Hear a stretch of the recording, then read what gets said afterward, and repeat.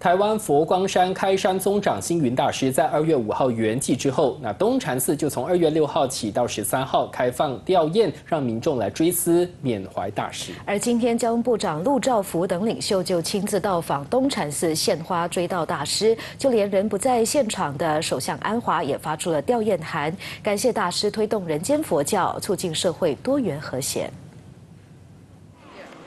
今天是台湾佛光山开山宗长星云大师圆寂后的第一个星期。交通部长陆兆福、财政部副部长沈志强和农业及粮食安全部副部长陈宏坚今天一同前往东禅寺，向星云大师致最后的敬意。陆兆福抵达东禅寺之后，第一时间前往大雄宝殿，写下想对星云大师说的话。随后，陆兆福在东禅寺法师和负责人的带领下步入殿殿堂，为星云大师献花吊唁，全程神情庄重。陆兆福也代表人不在现场的手下安华致哀悼文，感谢星云大师在世时推动佛法、造福人民之举。In the past 60 years,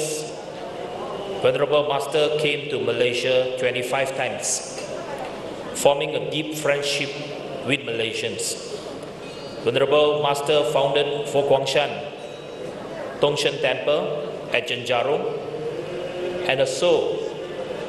ELIA Malaysia Federation who propagate humanistic Buddhism and nurturing talents via education. Promoting harmony in a multiracial society and promoting coexistence and mutual prosperity regardless of religion and race, and providing charity support and emergency relief to the people. 另外，陆兆福也表示，自己十分敬佩星云大师提倡的人间佛教理念，让他获益匪浅。他的呃人间佛教的这个教导呢，其实是一个非常伟大的一个贡献，对和平，特别是对于马来西亚的国情，其实人间佛教。这些大大师所说的一切的，其实对我们的社会呢，都是非常的、非常的息息相关。